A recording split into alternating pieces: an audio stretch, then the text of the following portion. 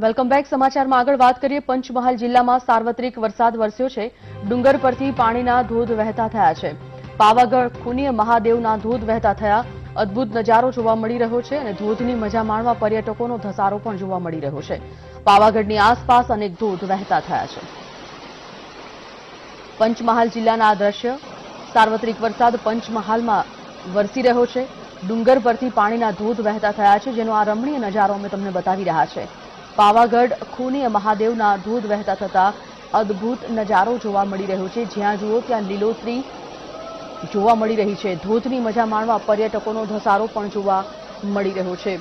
પાવાગઢની આસપાસ અનેક ધોધ વહેતા થયા છે ચોમાસી ચોમાસા માહોલમાં